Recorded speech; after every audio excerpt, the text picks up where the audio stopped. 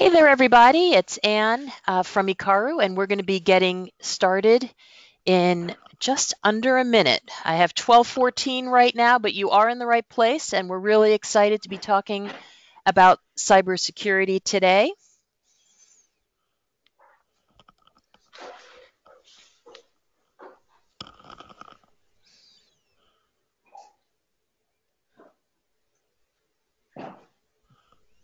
All right, uh, probably just about 30 seconds here, and uh, we will officially get started right on time as soon as my computer tells me it is time. So here we are. It's 12:15. I want to thank everybody for joining us. I have uh, Nancy here as well. And thank you uh, everyone so much for listening in today. I really appreciate your attendance at our lunch and learn today. Thanks again. Yeah, and thanks, Nancy, for doing a lot of outreach work. You know, education is a big part of our mission. So with that, I'm going to kick right into the content. I know folks are still trickling in, but I want to be respectful of everybody's time and dive right in. Uh, I think everybody knows us, but uh, we're Ekaru. We've been around for well more than 10 years at this point, and we do everything from help desk through CIO level strategy and security awareness training has really been a core part of our mission. We're going to talk a lot about that today. Um, we want to provide enterprise class IT, and a big part of protection today in cybersecurity is about uh, security awareness. All right, so just to kind of set the start point here, technology has completely changed the world. You know, us, we at Ekaru, we love technology. We love thinking about it, reading about it, and not everybody loves technology. But the fact is, it's here to stay. We're not, we're not doing things the way we used to do them. And one of the questions we get a lot, and I just got to move my video off the screen here, is why do I need all this security stuff on my system? And the next question we get if I have all the security stuff on my system, then why am I still at risk? And here's what's going on the cybercrime is now larger than all other forms of organized crime put together. So I think any business owner on this call right now would love to have a revenue curve that looks like the one on the right side of the screen. And unfortunately, this is a report from the FBI about the that basically just shows the increase in cybercrime over the years. Uh, it's it's big money, and the other thing to note is that everyone is a target, and we get questions about this all the time. I'm just a small business, nobody's after me, I'm under the radar. The attacks are indiscriminate. Everybody is really at risk, and um, there's just some of the stats. Uh, especially during the, the COVID crisis, FBI is reporting a fourfold increase in the number of reports that they're getting per day. Uh, 85% of consumers are concerned about doing business with folks they don't think have good security practices, and about 90% of breaches are from human error. Uh, really key to note that attacks are the majority of attacks are indiscriminate. So it's and we're going to show a ton of different kind of scams and attacks today, so you can get to see what they look like. Uh, but if you think nobody's after you in particular, it really doesn't matter. They're using automated tools. People can buy kits. They're not even computer hackers. They can buy kits on the dark web to launch these kind of attacks or phishing campaigns and all the things that we're talking about today. So uh, and this has been a core part of our mission all along is really educating smaller organizations that just because you see the headlines of the big organizations doesn't mean that you're under the radar. All right, so in past uh, webinars, we've talked a lot about security policies. These are the things you can do to stay safe. So, for example, an acceptable use policy, a work from home policy, disaster recovery policy, clean desk policy. These are all things that really make a difference in your organization. Uh, in addition, technology protection. So, firewall, antivirus, anti malware, ransomware protection, DNS protection. There's a lot of things that we put in. We call it a technology stack that we put in place. But still, things can get through. And the thing we're focusing on today is employee education. So the more you know about the types of scams and attacks and different things that are out there, the less likely you're ever going to be to fall for one of these threats. And what's really important is creating a culture of cybersecurity in your organization. And what that means is, you know, bringing it up at staff meetings because it takes one person in your organization to click on the wrong thing to maybe take down the entire network, wipe out all of your data. So it's it's this continuous learning um, because this whole thing is like a game of chess. So you have an adversary, and every time new protections are put in place, the bad actors are coming up with ways of getting around it. And that's why threats today, 90% of threats or breaches occur th- through email. And the reason for that is all of with all the security precautions in place, what happens is some stuff can still get through and it, it, it boils down to is the user going to click on the link? I'm going to show you a lot of different examples of what kind of things are on there. But it, it's not about you, you put on a responsible level of security on your email, and that's a must. But it's important to recognize things can come through. And the kind of basis for all these different kind of threats is social engineering. That's basically the bad actors are working on trying to trick you into opening mail or clicking on links. Uh, we're all busy. Uh, we're all at risk for falling for this kind of stuff. And um, the more you know, the more protected you are.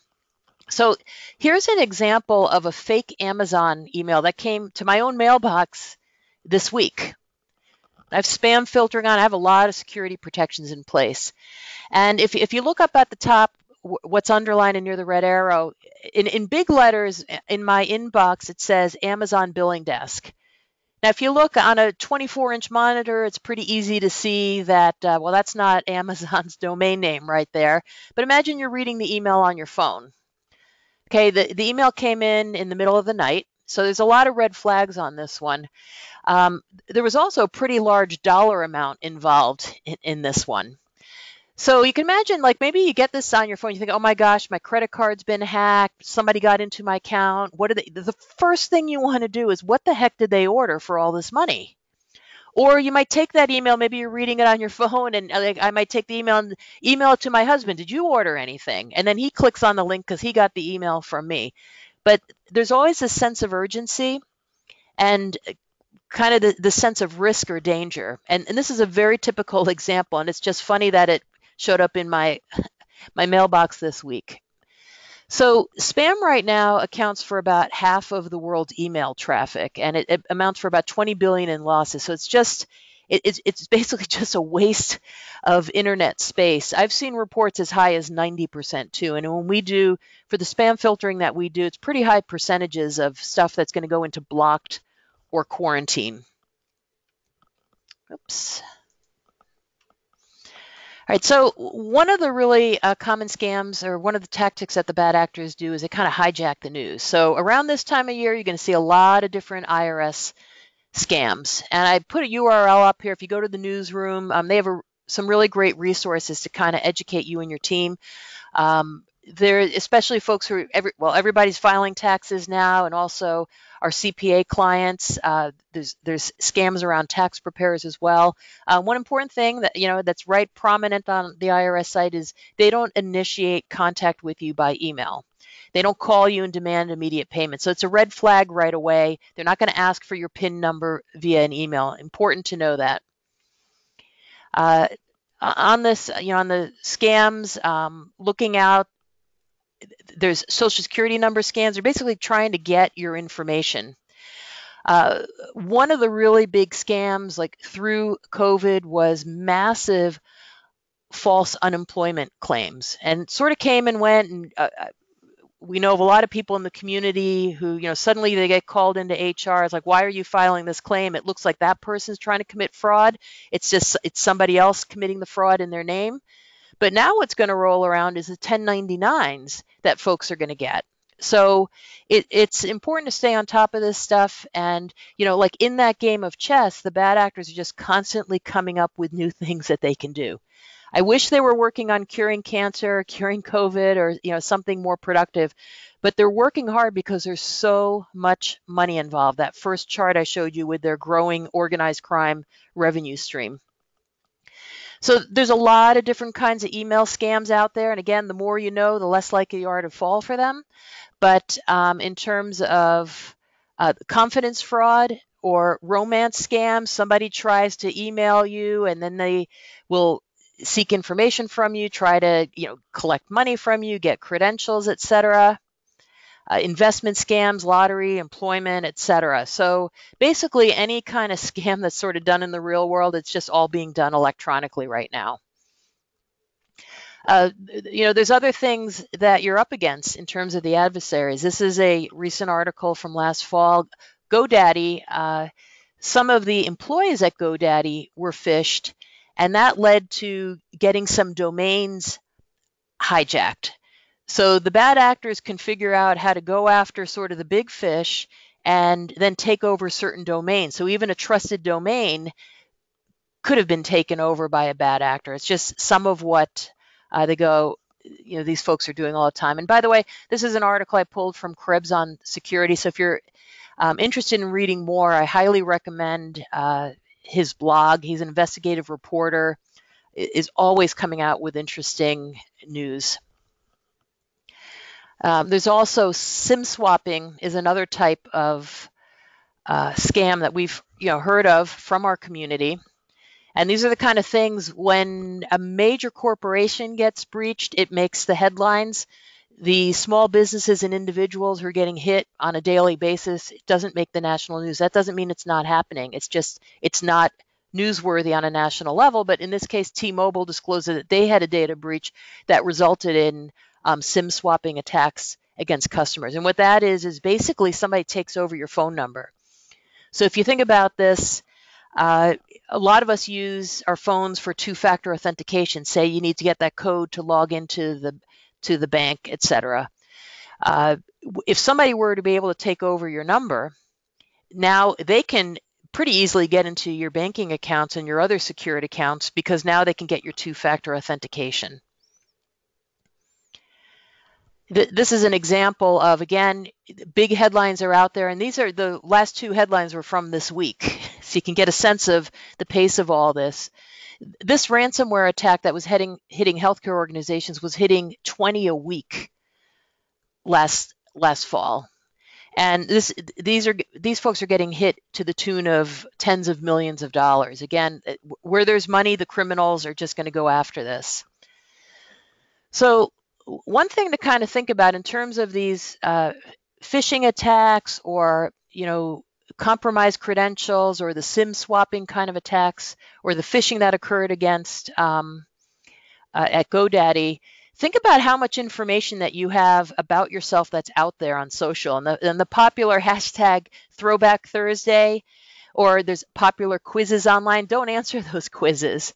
Um, because if you think about what your security challenge questions are, they're a lot of what uh, g- goes into a Throwback Thursday or one of those fun, seemingly harmless quizzes on site, but um, th- these kind of things can be used to basically steal your identity. So your your your first pet, your mother's maiden name, the name of the road that you grew up on. Be conscious about protecting that information and not putting it out there online. Automated tools can be used to scrape the information. In terms of the kind of scams that are going out there, one of the very popular techniques is brand impersonation. And uh, this is a chart from a recent security report, but it's showing that uh, Microsoft is the most popular uh, brand that's getting impersonated right now. It's because so many people use Microsoft. So they're going to go after what's popular. You can see Zoom right there uh, below the list. And so what this is, phishing emails that are coming out to you are going to look like messages from Microsoft, from Zoom, from Amazon. And we'll go through and kind of show couple of examples. So here's uh, a message, it has a Microsoft logo. It, it's a little off, but you wouldn't really notice that. Uh, it's not that obvious said your, your password's about to expire. Whenever your password expires, uh, uh you know, if you're on a 90-day reset policy, et cetera, it's kind of a pain in the neck. So it's one of those things that you generally want to do quickly. Again, that social engineering, a sense of urgency. You want to take care of it quickly so you don't get locked out of your email. And what this is, is just getting you to log in somewhere and basically reveal your password. very, very widespread kind of attack. So when you see uh, set to expire, you know, don't log in by clicking the link on the email. Go to your actual Microsoft account and, and change your password if, if you think that you need to change your password. And also be conscious of, uh, you know, maybe you're not you don't use Microsoft, if you're not on 365 for your email, then that's a giant red flag. But it's it's so popular right now, so many people use it. Uh, FedEx, very common uh, brand impersonation out there.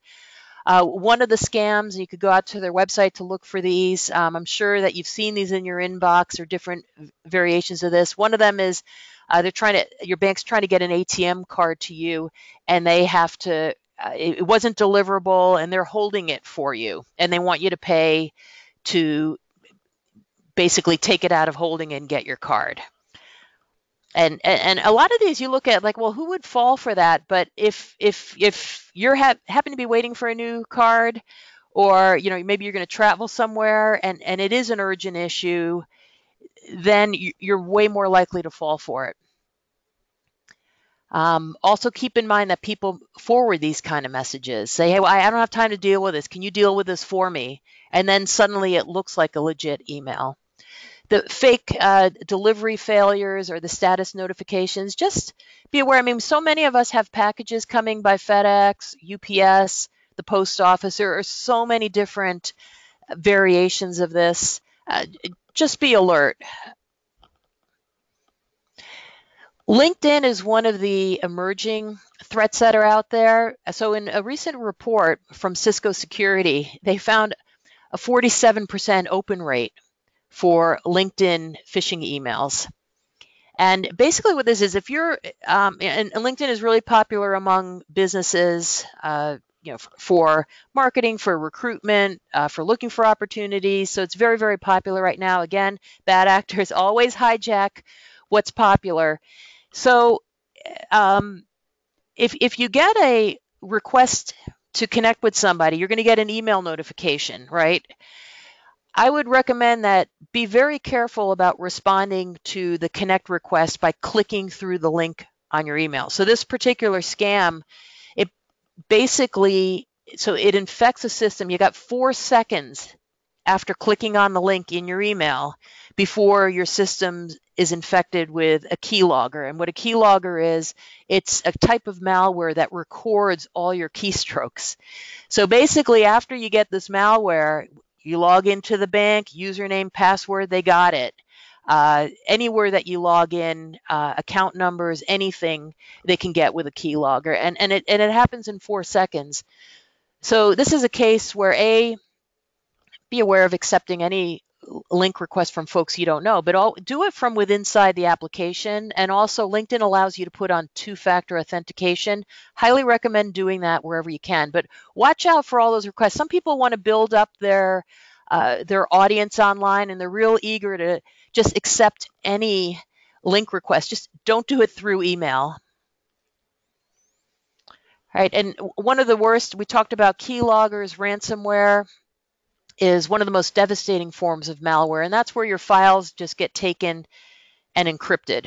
So if you think you clicked on something that you shouldn't have, uh, report it to your IT point person on site, your IT provider like Ekaru. Report it right away because a lot of times what happens right after you click on it is you don't notice anything there's there's not going to be anything unusual. It actually takes quite a long time to encrypt all the files. So if you catch this early enough, and we actually recommend um, in our security recommendations, we recommend putting on ransomware protection for this reason because it's specifically looking for the kind of changes that occur under the hood. But the important thing to remember is it, it's it doesn't matter how important you think your data is to criminals because they actually don't want they want your money they really don't want your data in some cases, they do want the data, but in general, they just want the money. And how important is your data to you? So if you were shut down for a week or two, couldn't conduct business, lost everything, what would that mean for your business? So secure policy policies in place around access to your computers, the technology stack that's protecting your computers, and education because a lot of folks think okay i clicked on that link i know i shouldn't have but everything looks okay, so I, am good. And n- probably not. Uh, another thing that uh, we want to highlight is keep your technology fresh. Um, this is uh, our blog post that we just put out this week. Try to get some information out there every week on our blog. But what we're seeing is a lot of folks, um, you know, have taken it to heart. They're getting off Windows 7. Microsoft ended support for Windows 7 a year ago. That means you haven't gotten security updates for a year on Windows 7, and that's um, that's something that uh, a lot of folks in the community have, have come up to date with Windows 10. But keep in mind, if you're still running an old version of Office, you've got a problem. So on the one hand, you have the up-to-date protections with Windows 10, but now you're opening your emails within Office 2010 that's no longer supported. So you've got a very weak link in your network at that point. So something to really be aware of. Keep keep all of your technology up to date. Apple comes up on, on the iPhones. You're, you're, constantly seeing those updates. A lot of them are addressing security concerns. some of them can have uh, inconvenient timing, but uh, please, it's extremely important. It, you're not saving money by hanging on to 10-year-old technology. You're putting yourself at risk, and the cost of cleaning up or recovering from a ransomware attack or any of the other kind of attacks, identity theft, um, are quite large. Another thing um, that we see out there we like to remind on, on a regular basis is when Windows 10 came out, they had this really convenient feature of the fast start. So when you shut down, um, it's actually just going into hibernation. What you need to do, a lot of security patches require full reboots, so get in the habit of doing restarts on a regular basis.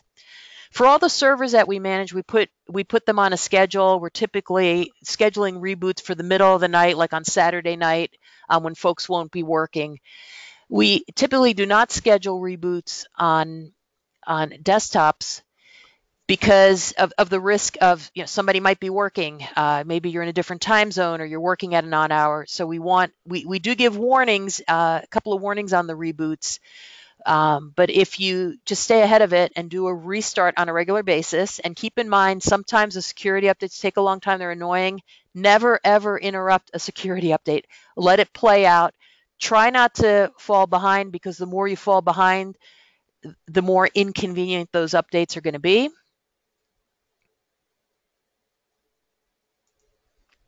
Um, just showing, getting through some more examples because the more examples of the spoofing attempts that you that that you're exposed to, the more alert you're going to be. So here's one from DocuSign. Uh, this is a total fake. Um, the, the yellow button to review documents is going to either um, ask for a login for credential stealing, it's going to deliver malware, it's going to do something bad. And what I love about this is it even has a security warning at the bottom. Do not share this email. This contains a security. So it looks really legit and it's it's security minded. Um, it's got the DocuSign logo. It's, you know, especially in this day and age of COVID, a, a lot of things are being done electronically. Be alert to that. Again, popular brands, they're going to be impersonated. Another thing, um, again, just you know, taking the news from this week is is your browser extension a botnet backdoor? So there's a lot of different browser extensions and they're convenient tools and you can plug them in and then some of them do cool things. Um, in this other investigation from Krebs on security, they point out the economics of these developers. Like a lot of, there's some very popular things that are, are, are money makers, but a lot of times the less known things, uh, the economics aren't there for folks to make money off of this. So they're very likely to um, maybe get enticed by getting a deal from another third party that says, hey, can we have access to can we have access to your browser extension and they might take them up on it because it's money, it's revenue, and they may not be trying to do anything bad, but they could get tricked by a bad actor as well. So uh, it, it's a good idea to be very conscious of the things that you allow to become browser extensions because it just ultimately weakens your defense. Uh, Zoom scams are huge right now. So you might get a Zoom account welcome message or you get an invitation to a Zoom meeting. And you think about it again with that social engineering. It's like, well, wait a second. I, I didn't know. I didn't have this on my calendar. The first thing you want to do is click on it to see, well, what is this? or you missed a meeting. Oh gosh, you know, whose meeting did I miss? Click. So again, all that social engineering and it's it's hijacking the popular brands, brand impersonation.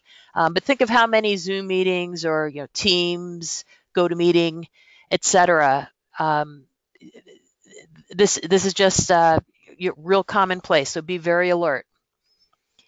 Uh, CVS, um, another really popular brand that gets impersonated a lot. Um, this this one's for a survey. Hey, you know why not fill out a survey, get a $50 gift card. Sounds like a good deal. Um, it's they either deliver malware, you know, keylogger, ransomware, other kinds of malware, or they're trying to get credentials. Um, CVS even had a totally fake site that was set up.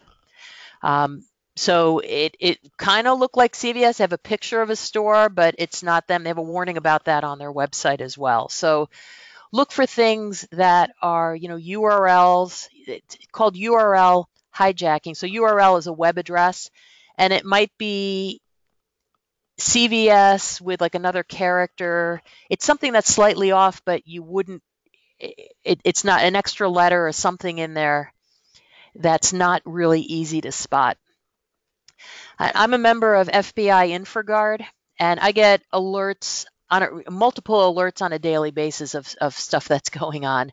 So again, it's just really important to stay up with this and make sure that this culture of cybersecurity awareness extends to everybody on your team because there is no way to 100% protect an organization. They, they know you have protections in place. I was on a security briefing yesterday talking about how uh, the, the spammers can bypass the email security um, by because again, there's certain very common email security technology tools out there. The first thing they want to do is figure out how to bypass it. So they're working hard. Um, banks, very commonly impersonated. Uh, this is one from American Express. I'll show a couple of examples. It, it's all the banks.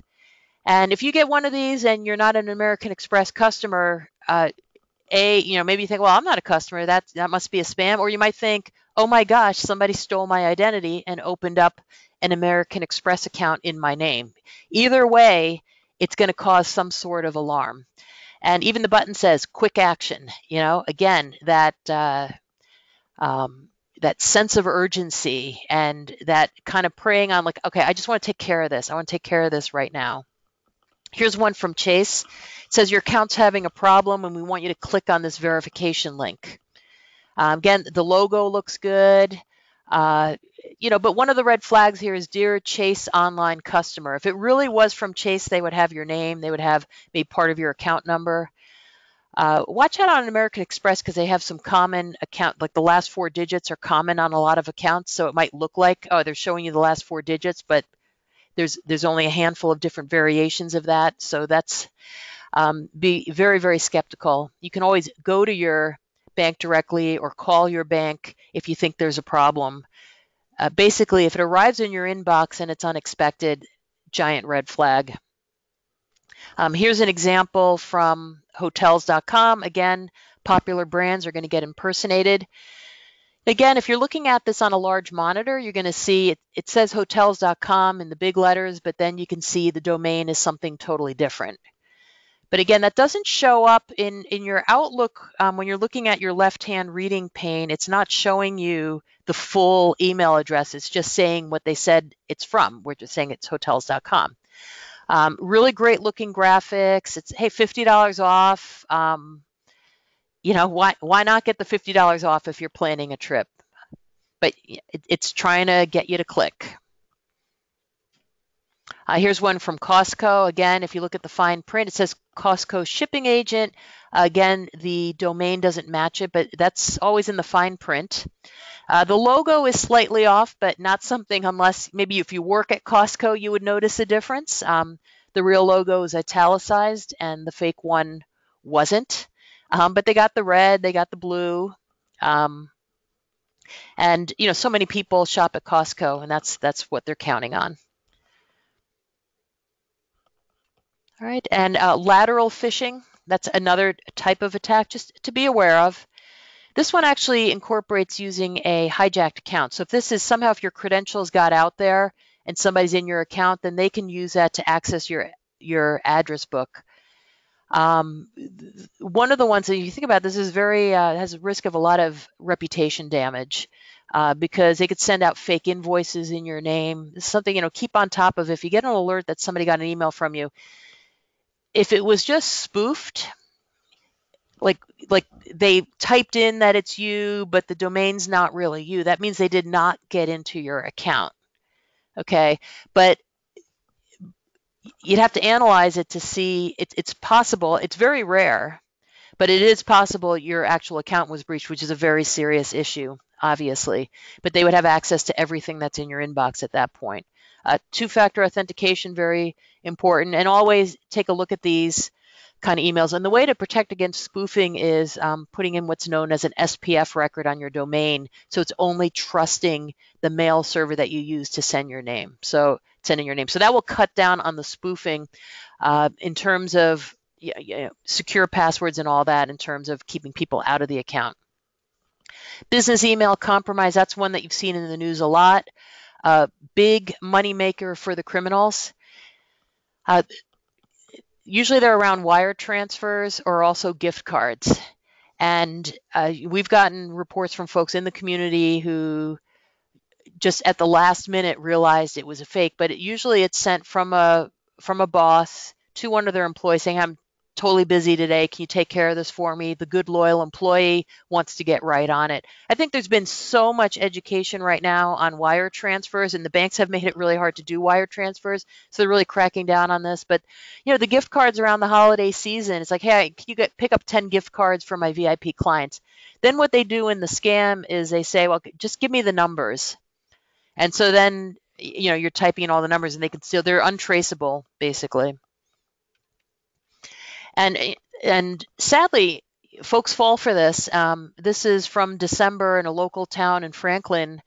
One of the uh, the town treasurer fell for for one of these uh, business email compromises to the tune of over a half a million dollars. The person felt awful about it, and uh, but there there's big money to be made, and the criminals that's your adversary. That's what they're going after.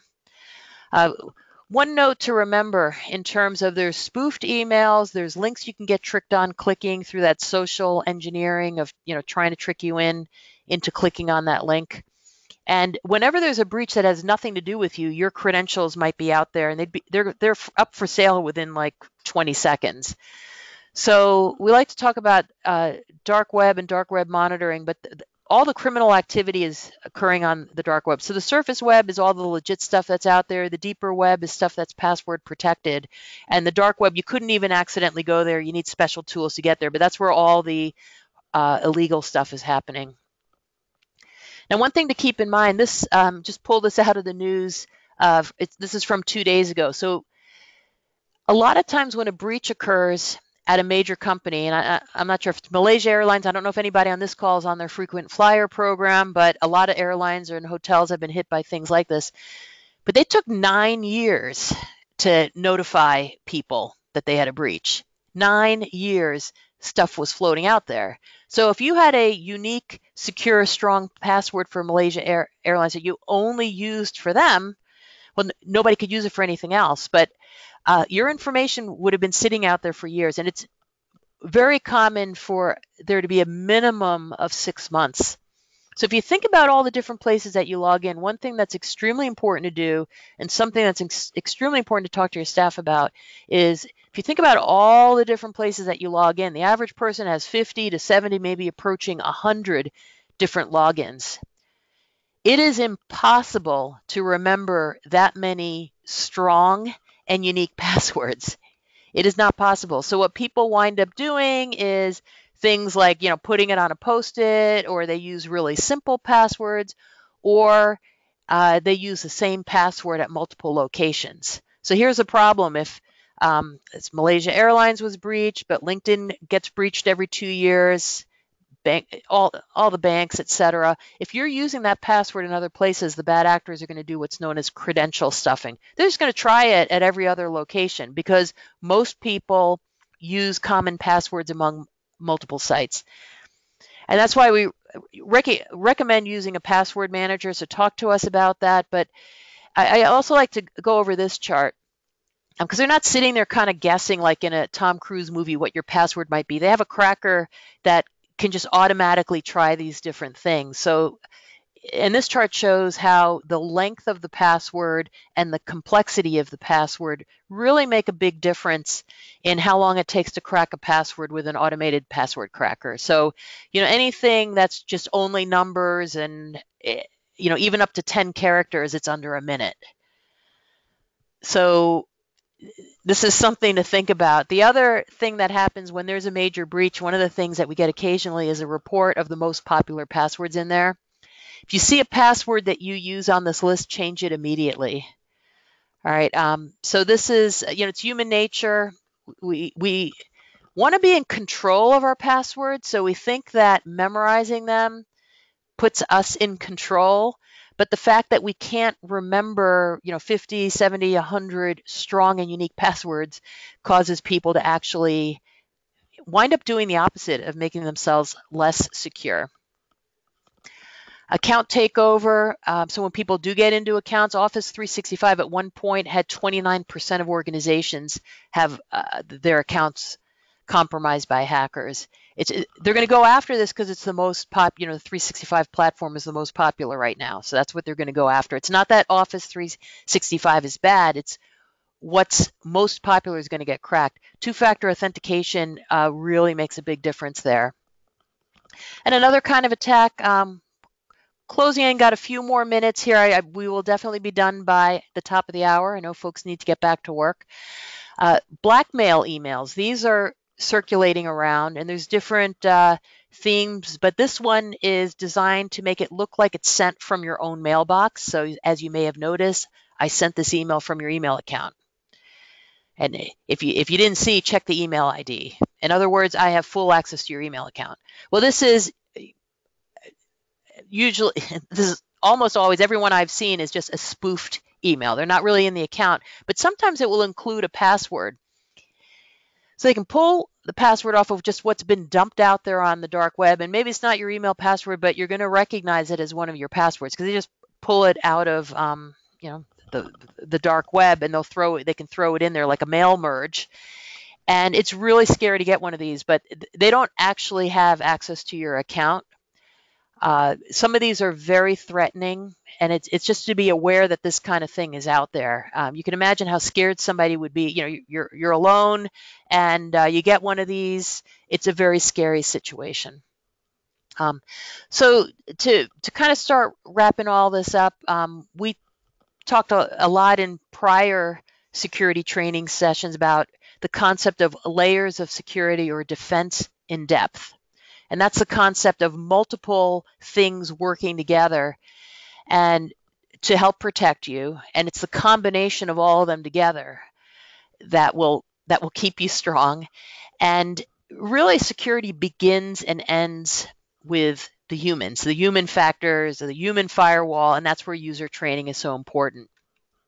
Uh, a lot of our um, folks in our community are on our micro training platform. We get a training on a different kind of thing every every week there's a two minute video that talks about it. just keeps it top of mind for folks. But you can see vacation scams brute force attacks the different kind of things. What's really important you can do an organized program like this or you just say hey once a month at your staff meeting just bring up a topic. You can go to our blog and pull something off of our blog if you want but create that culture of cybersecurity because it only takes one person in your organization uh, to really cause a lot of damage for your entire organization. Um, these are the kind of, we run phishing tests for folks. Um, we have one active right now and it's getting a 5% click rate. So it's, there is a lot of, um, everybody will say they won't click on one of these. And when you actually run the test, it's, you'll see some clicks. And it's, it's a really great eye opener for folks because they realize, you know what? I got tricked by this one. I could get, and it just says this is an educational, uh, you know, an educational event. But if this were a real threat, it would, it, you know, it'd have caused a lot of damage. But uh, human nature says everybody thinks they would not be the one to click. Um, also, policies and procedures. We had a lot of questions around this, but you know, security management policy, security officer. The Massachusetts has a requirement for the written information security plan, so that's an important thing to note. Just if you think about this in advance, because the day if you even if you have a false alarm or a real event that needs remediation it's just going to be the most painful stressful day and that's not the time that you're going to be able to think clearly and and figure out what to do on that same token writing a hundred page policy book is also not something you're going to be able to use in a crisis so keep it simple but think this through where's your data where's your important data where's it all located just get into that cycle of talking about security, creating that culture on a regular basis can make a big difference. And don't forget about the human factors factors of security. And I see commercials on TV. There's one for um, Cybereason right now. Comcast has one. And they say, oh, you just need this one thing and then you're 100% secure. It doesn't work like that. Defense in depth, layers of security, that is a common foundation of all cybersecurity plans. There isn't one silver bullet. And really think carefully about how it starts and ends with the person who's sitting in front of the computer who just got that email and they click on it. All right, so must have, just wrapping up here, must have strong security foundation, strong passwords. Uh, think before you click and please, you know, bring that up in staff meetings, uh, work on that with your training. Reboot at least once a week. Your patches won't be up to date. Keep all your technology fresh. Don't ignore the updates. They're delivered free. Um, don't hang on to super old technology. You're not saving money with it. All right, we have lots of resources on our website. We have this 15 ways it kind of goes over. This is a simple thing you could sit down with and just kind of put some check marks on the things that you're doing, maybe the things that you want to think about doing. That's on our website. Um, I also want to point out um, for anybody who, any business that's in the defense supply chain, we have a lot of resources online for the new CMMC, that's the Cybersecurity Maturity Model Certification that's coming up. That's being phased in over the next several years into contracts.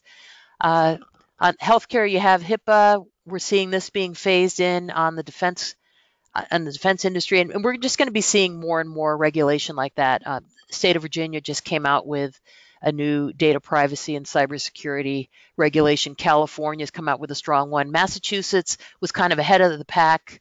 Uh, our regulations came out actually. It's going to be the 11th year anniversary next week, March 10th. So, but these are resources that we put out on our website. So please uh, take advantage of them. Mention to folks that you know, and uh, we're here to help. Education is a really big part of what what we do. If you want to schedule a one-on-one security conversation, just have, if you have questions, um, just email info@ekaru.com and I'll set up a time that works for you. Uh, if, if you're at all interested, we'll offer a free month of our training platform. If you'd like to try that, see what it is. And anybody on this call, if you want to have a dark web report for your domain, if you're not already doing monitoring with us, uh, we'll run a dark web report. So any, if you're interested in any one of those, just email info and that comes to Nancy and myself, and uh, we will follow up. And with that, um, it's three minutes before one, and I want to wrap up and uh, make sure that folks can get back to work. Uh, please check out our blog. We put new stuff out there about every week. Uh, I'm on LinkedIn. Uh, Nancy's on LinkedIn. And uh, we want to put information out there that's helpful for you. And uh, Nancy, if you're still on, do you want to add anything to this? I am. Yes, I do. Yeah. Um, you know, I, I always learn a lot whenever you talk about uh, cybersecurity, but uh, one thing that came to mind was many of us are on social media sites every day. And I thought it was really important how you said, don't answer those quizzes, you know, because first we look at them, oh, yeah, this could be fun. Yeah. But yeah. definitely, you know, and of course, you know, the, the common security questions they're asking are all highly personal information that we should never share our address, our street address, um, our dog's name. Yeah. Um, mother's maiden name, highly personal information. We should never answer those quizzes. Also, Anne, you said to always use two factor authentication on all our social media sites. So everyone should really take the time to do that. It only takes a couple minutes to do. And yeah, uh, lastly, important. you did mention yeah. it twice about restarting the computer. Reboots are so important. So um, that was it. That's great, Anne. Thank you Yeah. so much. And thank you to our audience. I really appreciate our clients and prospects listening in this afternoon. Yeah, and thank you, Nancy, for doing all the outreach. Um, I think we had cl- close to 100 people signed up, um, and that's a lot of outreach. Right. We really want to get this message out there, and uh, you'll get a recording of this. And anybody wants a copy of the slides, just reach out to us. So thank you so much thank for joining you, us today. All right, bye-bye. Bye.